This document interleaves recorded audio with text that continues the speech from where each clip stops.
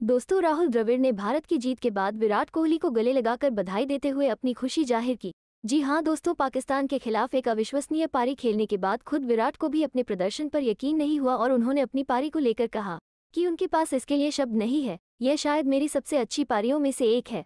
वहीं इस जीत के बाद फैंस के साथ साथ कोच राहुल द्रविड़ भी बेहद खुश दिखे। कोहली ने टी वर्ल्ड कप 2022 के एक मुकाबले में पाकिस्तान के खिलाफ बयासी रनों की नाबाद पारी खेलते हुए पारी के अंत में आठ गेंदों पर तीन छक्के लगाए। इस कारण भारत ने एक रोमांचक मुकाबले में चार विकेट से जीत दर्ज कर ली। वहीं विराट जब विजयी पारी खेलकर ड्रेसिंग रूप में पहुँचे तो कोच राहुल द्रविड़ ने उन्हें काफ़ी देर तक गले लगाए रखा और वे उन्हें बधाई देते हुए नज़र आए। इससे इस जीत की अहमियत का पता चलता है। इसके बाद मोहम्मद सिराज, ऋषभ पंत सहित टीम के अन्य खिलाड़ियों ने भी कोहली को बधाई दी। तो दोस्तों, क्या किंग कोहली ऐसे ही दमदार प्रदर्शन करते हुए वर्ल्ड कप की ट्रॉफी घर ले आएँगे? हमें कमेंट करके अपनी राय ज़रूर बताएँ।